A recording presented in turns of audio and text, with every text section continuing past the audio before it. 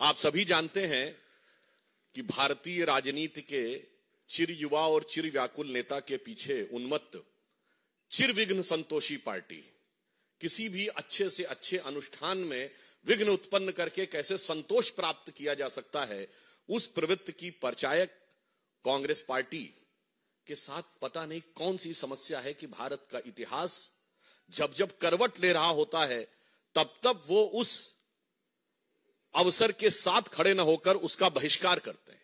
अभी हाल में आपने देखा, चंद महीने पहले की बात है पिछले वर्ष की, नई संसद भवन के उद्घाटन का बहिष्कार किया। भाई, नई संसद भवन डेढ़ सौ वर्षों तक चलेगी। इसका भारतीय जनता पार्टी अथवा प्रधानमंत्री श्री नरेंद्र मोदी जी से तो कोई मतलब नहीं है। उस ऐतिहासिक अवसर का बहिष्कार किया, जबकि उल्लेखनीय है कि अंग्रेज़ों के जमाने की संसद का बहिष्कार नहीं हुआ था वॉइस राय के टाइम में जीएसटी लागू हुआ। भारत के कर संरचना में टैक्स स्ट्रक्चर में ऐतिहासिक पैराडाइम शिफ्ट हुआ। उसका बहिष्कार किया। जी ट्वेंटी अभी अभी हुआ। पहली बार ऐसा हुआ कि 20 राष्ट्राध्यक्ष और वो दुनिया के सबसे शक्तिशाली 20 देशों के राष्ट्राध्यक्ष भारत में आए। क्योंकि मैं पुनः विनम्रता से कह दूँ कि नॉन अलाइन समिट भी हुआ था, पर नॉन अलाइन समिट उस समय वर्ल्ड का पावर सेंटर नहीं माना जाता था and G twenty is considered power centre उसमें महामहिम राष्ट्रपति के द्वारा दिए गए भोज का बहिष्कार किया। अरे, भारत की शक्ति का कितना बड़ा उद्भव था। हमारे पूर्व राष्ट्रपति रामनाथ कोविंद जी और द्रौपदी मुर्मू जी के अभिभाषण का बहिष्कार किया। जबकि वो हमारे राष्ट्र के प्रथम नागरिक हैं, परंतु ये एक संयोग की बात थी। देखिए, एक अनुसूचित जाति से थे, एक अनुसूचित जनजाति से थी। इसके बावजूद आपने बहिष्कार किया और अभिभाषण का बहिष्कार करके आपको मिलना क्या था? यह भी बहुत स्पष्ट था। याद करिए कारगिल विजय दिवस 2004 के बाद 2009 तक नहीं होता था। क्यों कांग्रेस ने बहिष्कार किया था कारगिल विजय दिवस का? भारतीय जनता पार्टी के प्रखर प्रतिरोध के बाद आधे अधूरे मन से रस्म अदायगी के लिए 2009 के बाद शुरू किया और अब हम उसको गर्व के साथ मनाते हैं। जब मई उन्नीस सौ अट्ठानबे में पोखरण विस्फोट हुआ, अटल बिहारी वाजपेयी जी की सरकार के नेतृत्व में, कांग्रेस ने 10 दिन तक बयान ही नहीं दिया।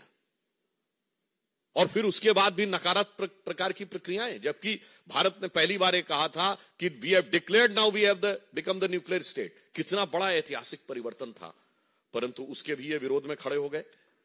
और तो और, पूर्व राष्ट्रपति प्रणब मुखर्जी जी जो आप ही की पार्टी के थे, उनके भारत रत्न समारोह का बहिष्कार कर दिया।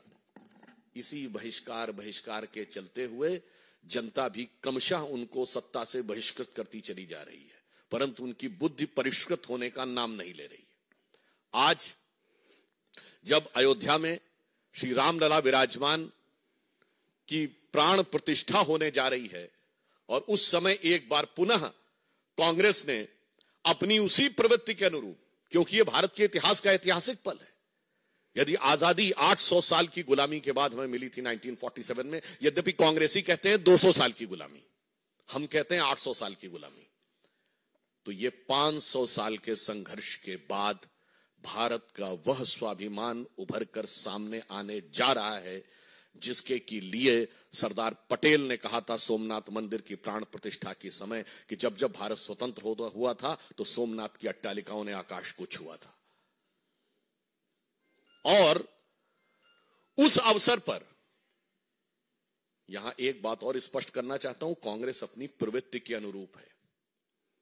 मैं आप लोगों के सुलभ संज्ञान के लिए कोट करना चाहता हूँ कि जब सोमनाथ मंदिर की प्राण प्रतिष्ठा हो रही थी तो जवाहरलाल नेहरू जी ने 24 अप्रैल उन्नीस सौ इक्यावन को जाम साहब दिग्विजय सिंह, जो कि उस समय सौराष्ट्र के प्रमुख थे, यानी like technically the chief minister और उन्होंने जब इनवाइट किया तो नेहरू जी ने क्या लिखा था? मैं बताना चाहता हूँ इसलिए कि कांग्रेस उसी परंपरा में चली आ रही है। उन्होंने लिखा कि इस कठिन समारोह, समय में समारोह के लिए मेरा दिल्ली से आना संभव नहीं है। पर आगे महत्वपूर्ण बात लिखी। इस समारोह के बारे में मैं अपने विचार साफ़ कर देना चाहता हूँ। मैं इस पुनरुत्थानवाद से बहुत परेशान हूँ। मेरे लिए बहुत कष्टकारक है कि मेरे राष्ट्रपति और मेरे कुछ मंत्री और राज प्रमुख के नाते आप, राज प्रमुख मतलब उस समय चीफ मिनिस्टर के नाते आप, सोमनाथ के इस समारोह से जुड़े हुए हैं। और मुझे लगता है कि मेरे देश की प्रकृति के अनुरूप नहीं है और इसके परिणाम अच्छे नहीं होंगे। ये 24 अप्रैल उन्नीस सौ इक्यावन सोर्स है selected works of Jawaharlal Nehru series two volume 16 part one बस, वही तो परंपरा थी। उसके बाद इंदिरा जी के जमाने में गोरक्षक संतों पे गोलियाँ चली। इंदिरा जी के जमाने में 1976 में जब रूटीन खुदाई में राम मंदिर के खंभे निकल रहे थे तो वामपंथी इतिहासकारों के दबाव में रुकवा दिया गया। राजीव जी के जमाने में कार सेवकों की हत्या करने वालों का समर्थन हुआ। पीवी नरसिम्हा राव जी के जमाने में पता नहीं क्या क्या हुआ, वो आपको पता है। और सोनिया जी के जमाने में आते आते राम काल्पनिक होने का हलफनामा तक हो गया। यानी ये बहुत साफ़ है कि यह प्रवृत्ति जो आज कांग्रेस ने दिखाई है, एक मौका था। कि आज आप अपने को बदल कर दिखा सकते थे, परंतु आपने ऐसा नहीं किया। परंतु मैं एक और बात स्पष्ट करना चाहता हूँ। यह नेहरू की कांग्रेस है यह गांधी की कांग्रेस नहीं है। क्योंकि महात्मा गांधी का तो राजनीतिक दर्शन था राम राज्य। महात्मा गांधी का नित्य का भजन था रघुपति राघव राजा राम महात्मा गांधी की समाधि पे लिखा हुआ है, हे राम। और आज उस राम राज्य की प्राण प्रतिष्ठा का प्रारंभ हो रहा है, श्री गणेश हो रहा है, और आप उसके साथ नहीं खड़े हैं, इसका मतलब बहुत साफ़ है कि ये गांधी की कांग्रेस और नेहरू की कांग्रेस का अंतर भी अब बिल्कुल साफ़ हो गया है। और आज इस अवसर को जो इन्होंने अपने हाथ से गवाया है, ये कांग्रेस के अंदर का भारतीय संस्कृति, हिंदू धर्म और हिंदुत्व के प्रति जो विरोध है उसको दर्शाता है। अब बताइए इससे ज़्यादा क्या होगा कि श्री राम जन्मभूमि केस में जो बाबरी मस्जिद पक्ष के पक्षकार इकबाल अंसारी थे, उनको इनवाइट किया गया है। यह हिंदू धर्म की महान उदारता के परंपरा के अनुरूप है। गोली चलाने वालों को भी इनवाइट किया गया। बताइए वो आने को तैयार हैं, जो मुख्य पक्षकार थे। मगर चंद कट्टरपंथी वोटों की तिजारत की गला काट प्रतिस्पर्धा में कांग्रेस और कांग्रेस गोत्र के सारे दल, कांग्रेस की परंपरा के सारे दल आज हाहाकार मचाने को तैयार है। मतलब आपने हिंदी में कहावत सुनी होगी ना कि मुद्दई सुस्त, गवाह चुस्त। यहाँ तो मुद्दई साथ में आके खड़ा हो गया है। मगर इसके बावजूद इन लोगों के मन में अभी भी वह लोभ दिखाई पड़ रहा है।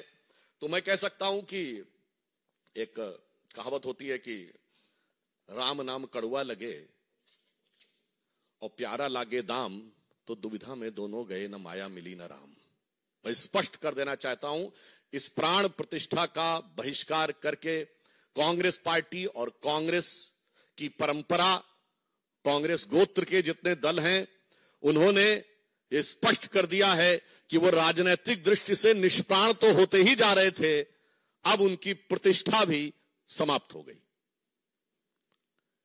श्री नरेंद्र मोदी जी के प्रति आपके मन में जो भी ईर्ष्या है, द्वेष है इंफीरियरिटी कॉम्प्लेक्स है, उसको लेकर आप भारत के विरोध तक चले जाते थे। आज भगवान के विरोध तक चले गए।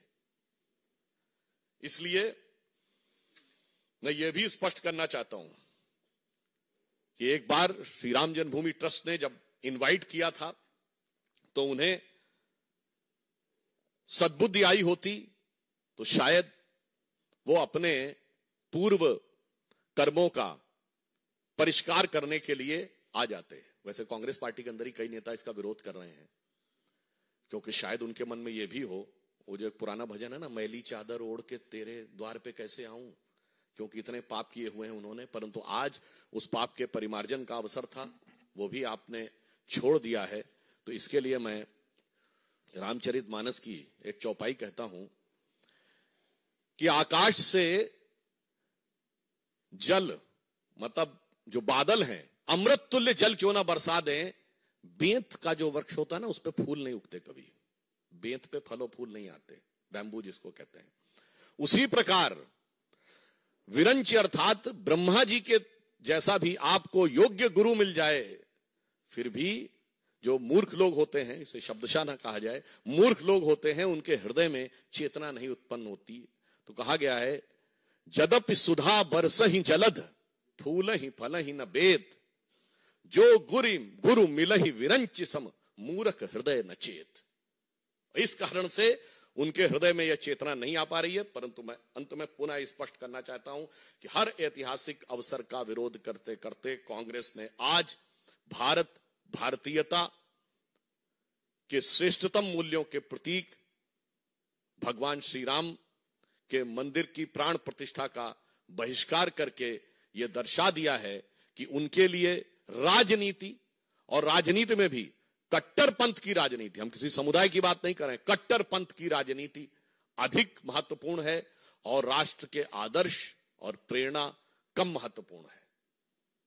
इसलिए मैं यह भी कहना चाहूँगा कि भगवान राम वो आदर्श हैं जो सभी मत संप्रदायों के लोग मानते हैं।